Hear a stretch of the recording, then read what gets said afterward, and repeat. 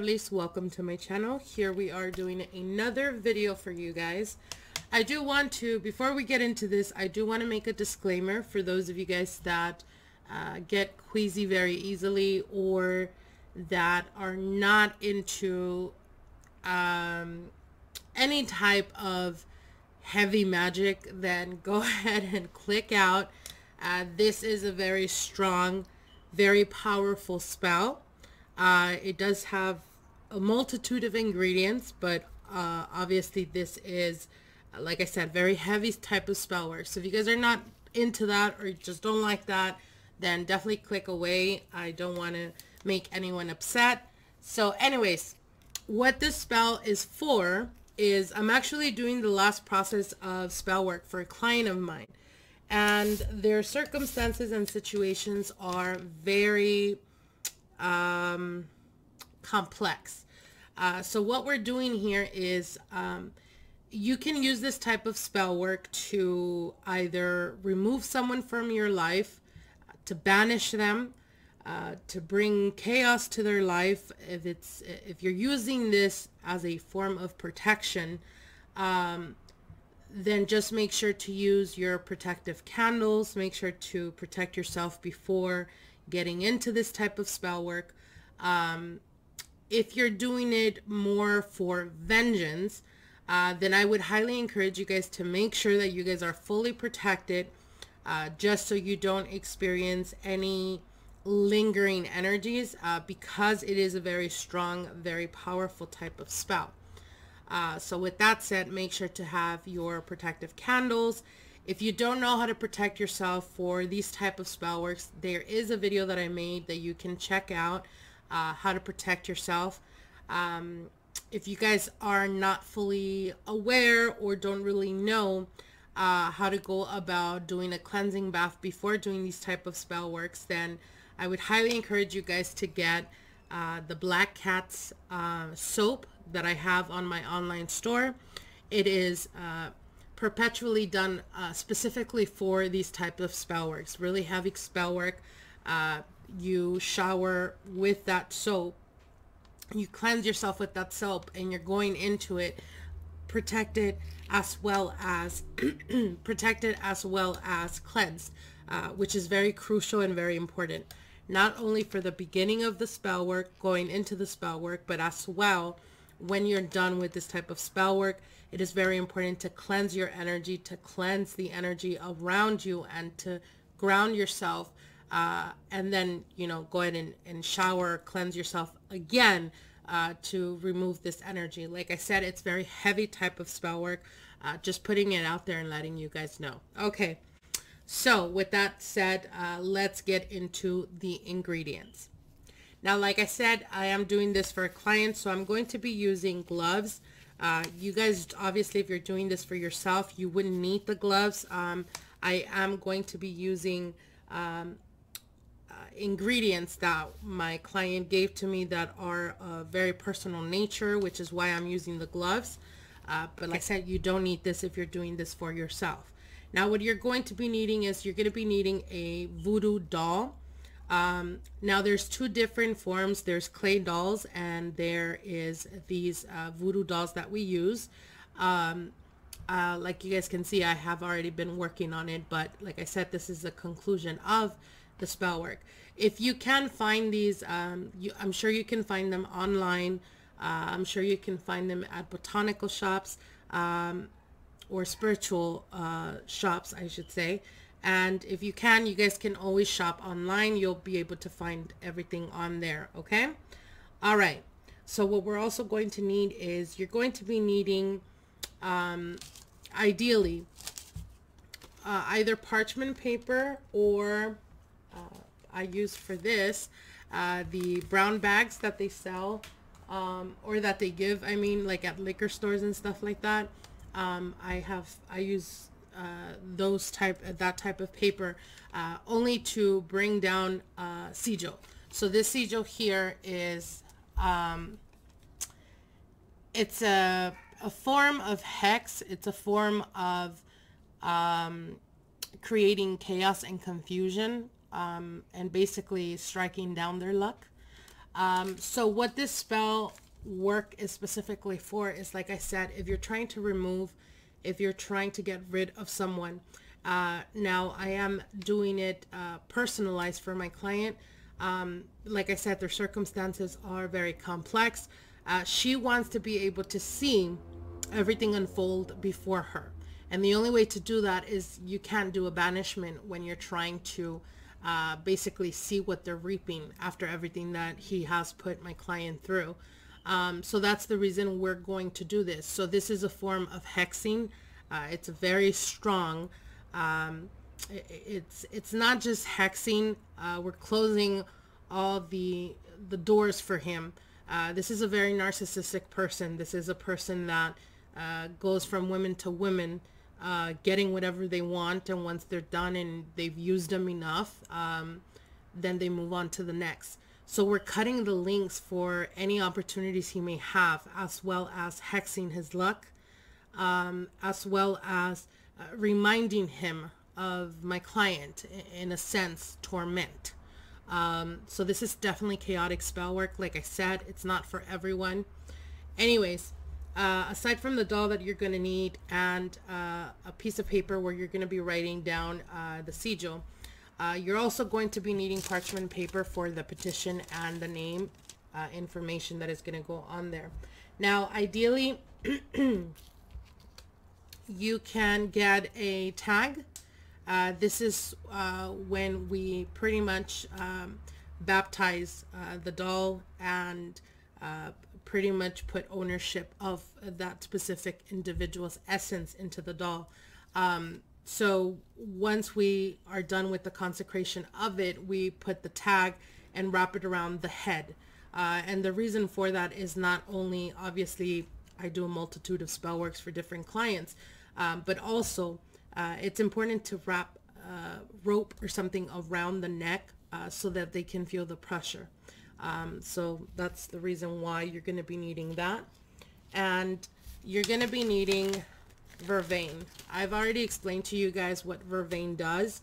Uh, vervain is a very strong and powerful, potent uh, type of herb that we use, especially uh, when we are trying to substitute uh, for cemetery dirt. Uh, dirt sorry.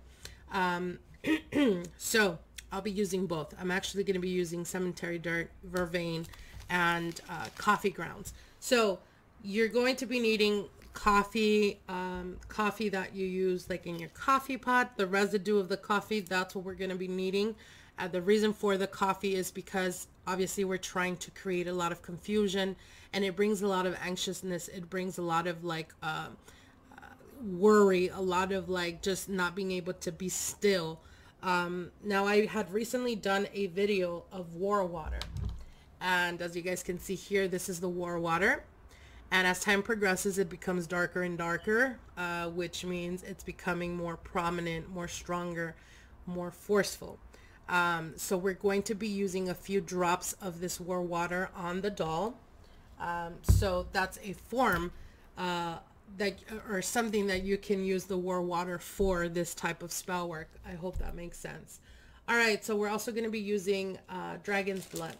Now, um, dragon's blood powder. And the reason for that is because we will be creating a circle, uh, magic circle within the doll, obviously to invoke uh, the essence of this person into it. And I'll guide you guys through it. Anyways, uh, your next uh, ingredient is going to be, um, we're going to be using witchgrass.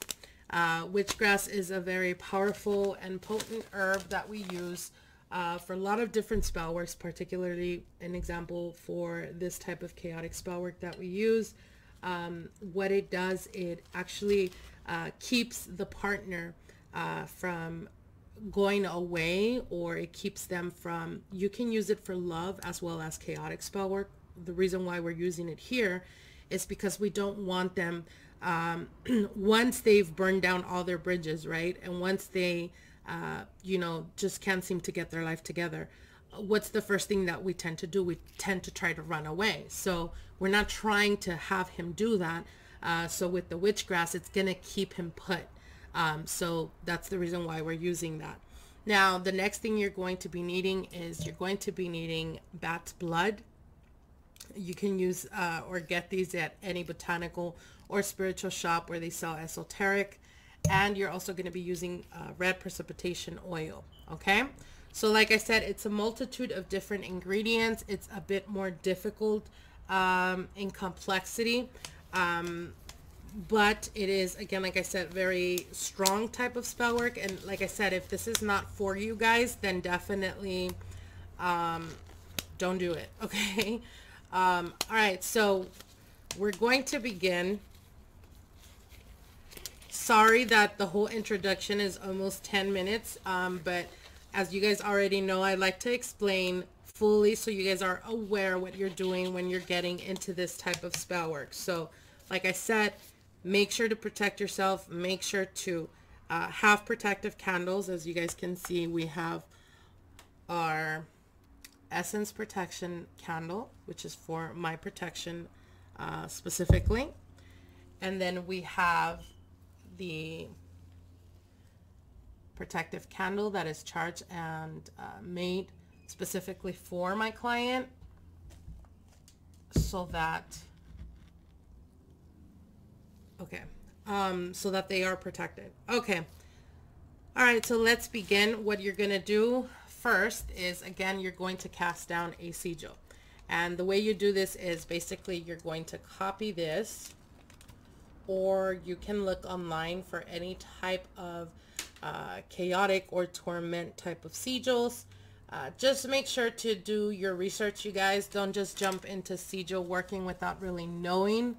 Um, but anyways, so you're gonna you're gonna put that there. We're gonna move this a bit.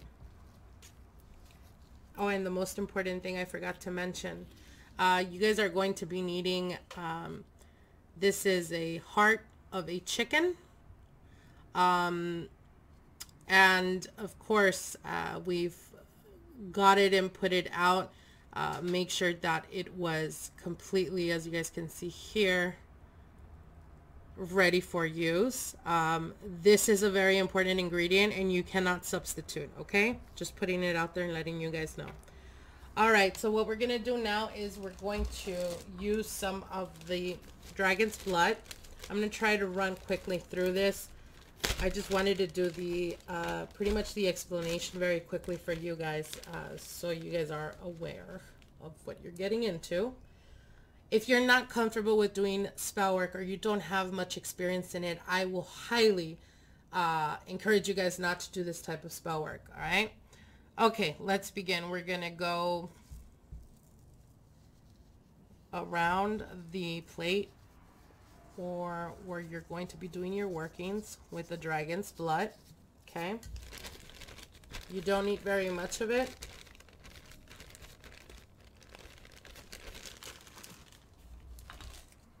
I'm going to do my quick prayer over this. Uh, you guys can say something similar to this or you can make it as personal as you want. So you're going to say something along these lines. I call upon all my wise and loving spirit guides, specifically the spirits, those whom are obedient to me and work to uh, work for me in chaotic type of spell work. I call upon you and I ask you to please be present and assist me in rendering the highest form of results for my client in the quickest way possible. really focus and put your energy on what you're trying to achieve.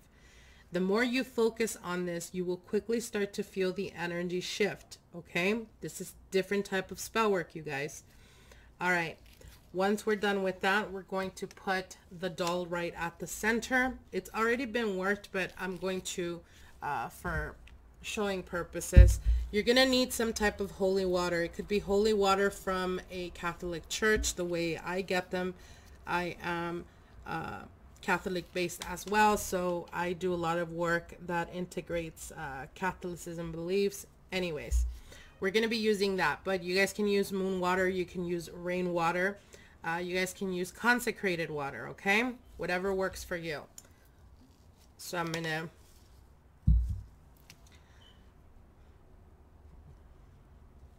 put the water in it in the form of a cross. Going to hold it and I'm going to say, In the name of the Father, the Son, and the Holy Ghost, I bless and consecrate this doll so that it is the essence, the physical representation. And this is where you say the person's name, uh, the first name, last name, and date of birth. Okay? On this very witching hour, I bless you and baptize you. I bring you into life. I call upon the angel or the archangel that was present in your birth to empower this doll so that it may capture your essence, so that it may capture your mind, so that it may be a mirror reflection of that of who you are. I baptize you now in the name of the Father, the Son, and the Holy Ghost. Blessed be. All right. So once that is done, what we're going to do now is you're going to write down on the parchment paper, you're going to write down the first name, last name, date of birth of the person that you're doing this for. Like I said, be careful when doing this type of spell work. If you're not comfortable or you don't have much experience in this, please do not do this. Um, make sure that you're also doing this to someone that you know will not retaliate, okay? Uh, people that tend to know about the practice or that uh, they themselves are practitioners. Um, there's ways of finding out when someone is doing this to you. Of course, I'm doing this for a client, which is why I have a representation of my client and a uh, representation of myself and each of the different candles. Uh, this keeps it um, mirrored or blurred image. So if anyone should look into their situation, they wouldn't be able to see exactly what's going on. Okay? Just putting it out there. All right. You're going to put the first name, last name, date of birth. Then you're going to turn it to your right. So my right would be this way and you're going to write down your first name, last name, and date of birth seven times going down. Okay. Once that is done, once that is done, you're going to turn it again to your to your right, and turn it again, and then you're going to write down the petition. Now the petition has to be as simplistic as possible. As an example, you're going to put the person that you're doing this for, the first name, last name, date of birth, or their first name, last name on the day of their birth and then the date of birth. Um, I you, can write down whatever it is that you're doing this for. So as an example, I'm doing this for my client.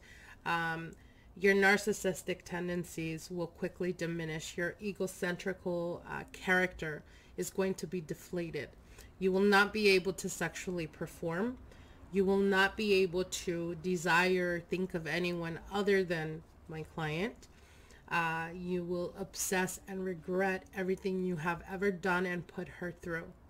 Your torment, your regret, your doing will be burdensome.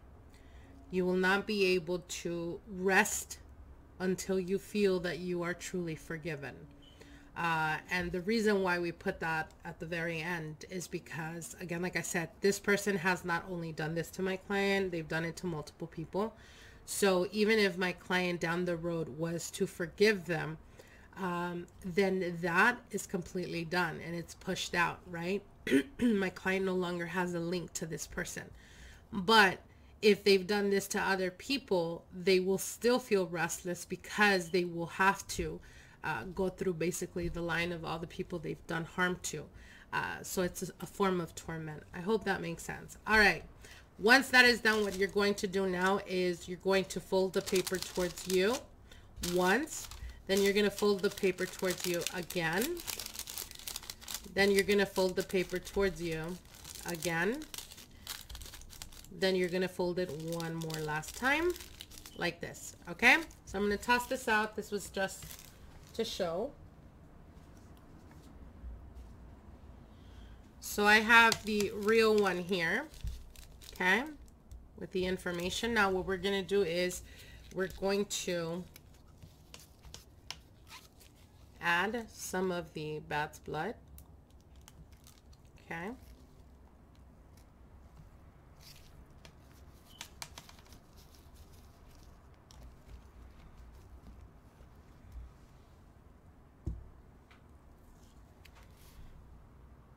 dripping some in there. Okay. So what you're going to do now is you're going to close it and you're going to put it inside the doll. Okay. Like that. All right. Now what we're going to do is we're going to get some of the vervain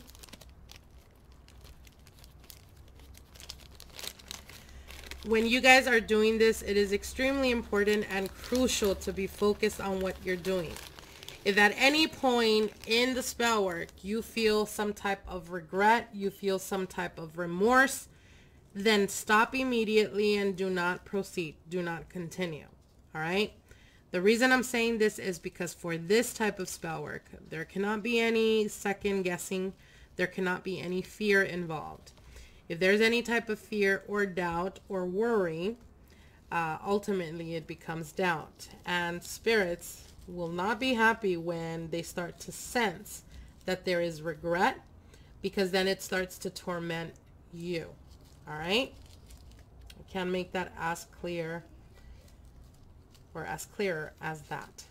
All right. Once that is done, what we're going to do now is we're going to put some of the precipitation oil. Fast acting. That's the reason why we use precipitation. All right, give me one second. And Father, the Son, the Holy Ghost, thy blessing consecrate this. The precipitation so that it may quickly and get the result as quickly as possible.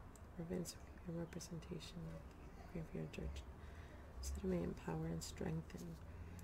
Give it more power and energy.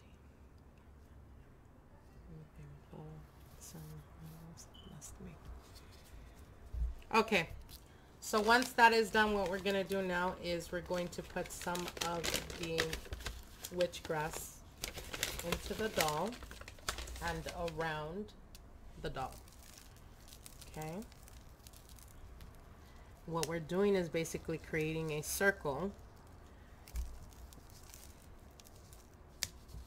where this person will be bound to their circumstances, to the situation, and to my client with regret, with remorse. Okay?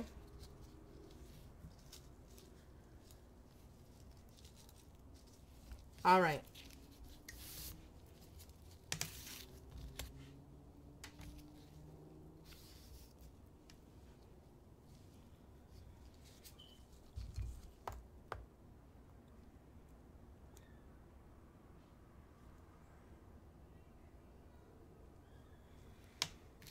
I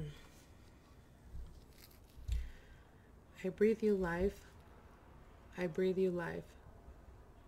I breathe you life. I breathe you life.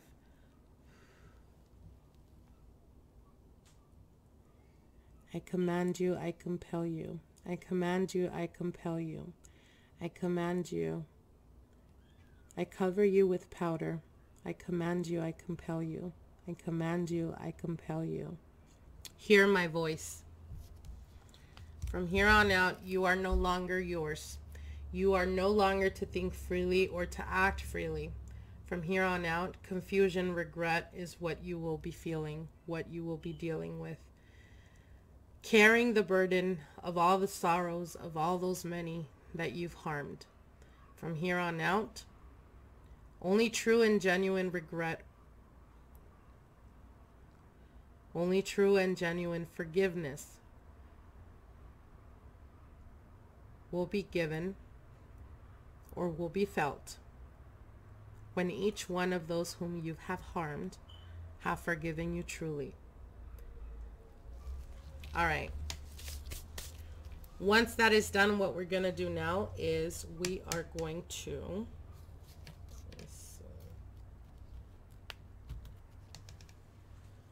we're going to write on a piece of paper.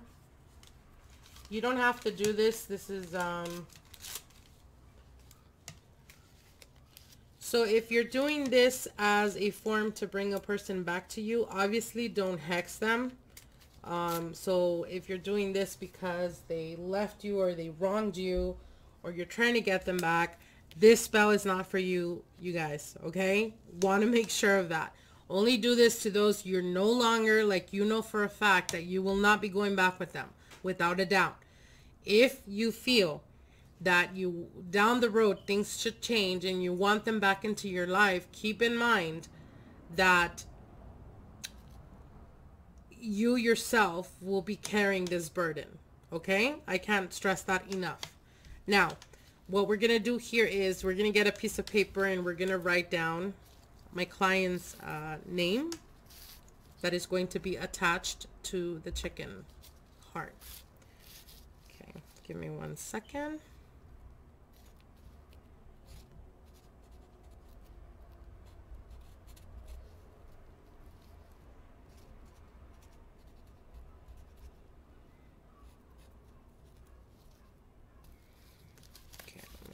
flip it.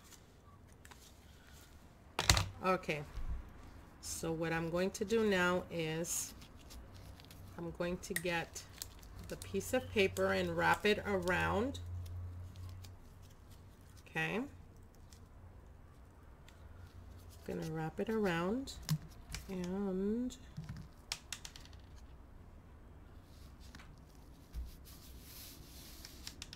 where's the needle? Here we go. And with the needle, I'm going to puncture the heart. Okay, not sure if you guys can see. So I'm going to puncture the heart.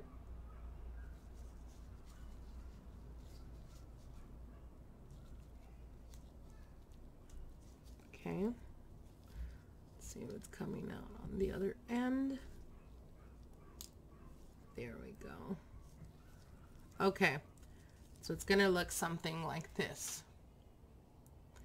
And then we're going to introduce it into the doll. Make sure to be careful, you guys. Make sure not to hurt yourself. And be extremely focused when doing this. Um, this type of spell work has a funny way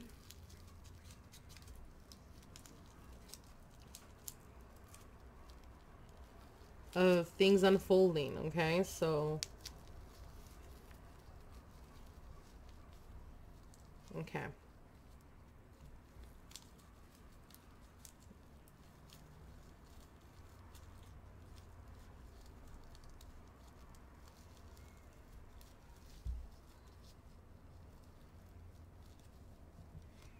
If you guys are interested in learning how to work with voodoo doll or clay dolls, definitely comment below. Let me know.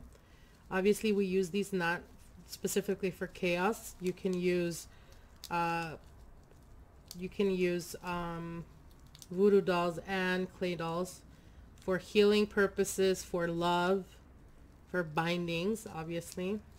Okay. All right.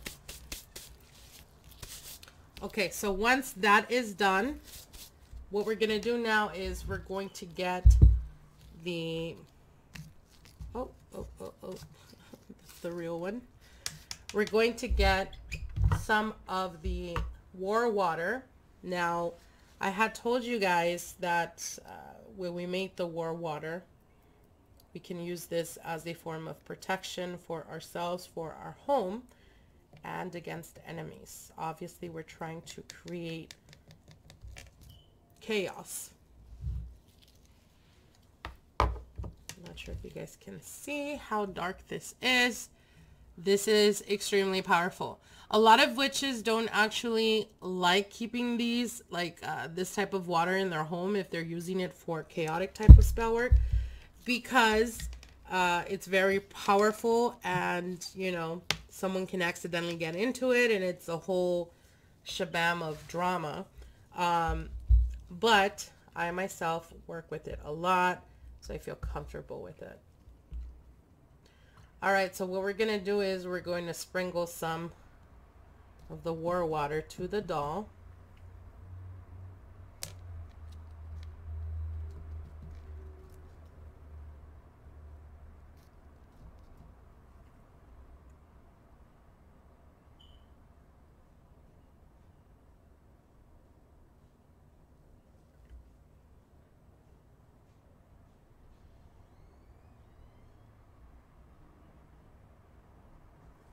Okay.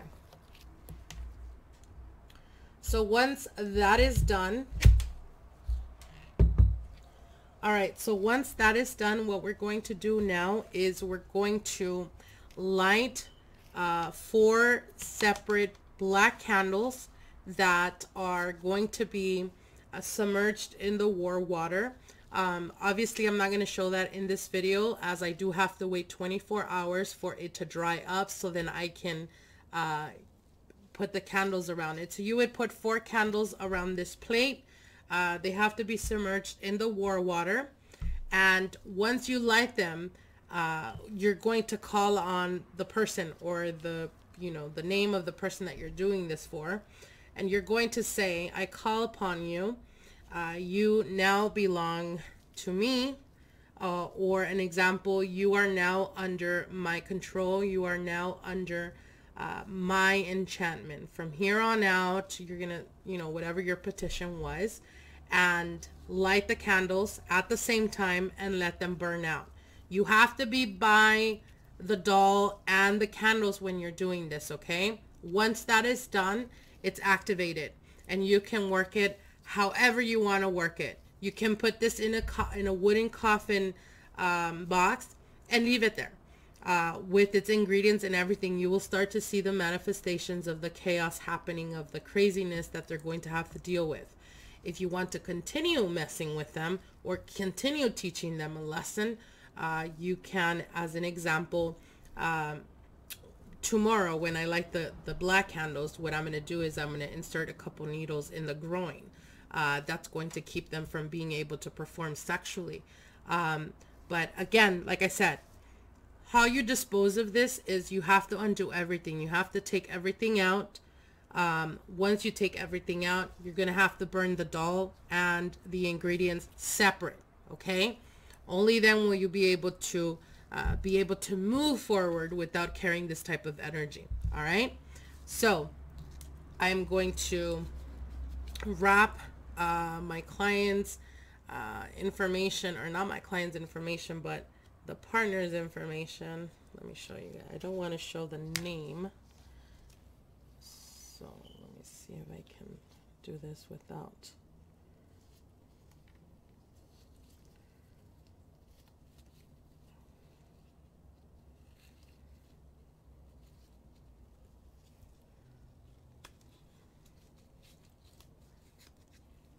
All right, so it's going to look something like this all right?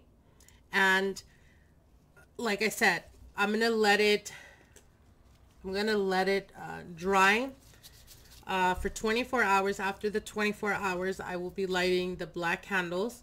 Uh, after the black candles are lit once that is done the spell is completely done. Uh, like I said the way of putting this away ideally would be to put it in a wooden box or to keep it in your altar. Um, but you know, seclude it. Don't leave it just in the altar. Put it in a box. Put it in, I mean, even, you know, the cigar boxes that come like they're wooden and they have glass on the top. You can put it there for safekeeping. Um, like I said, this is stronger type of spell work, so be careful and make sure to protect yourself before doing this type of spell work, okay? All right, I hope you guys enjoyed, and we'll see each other soon. Bye.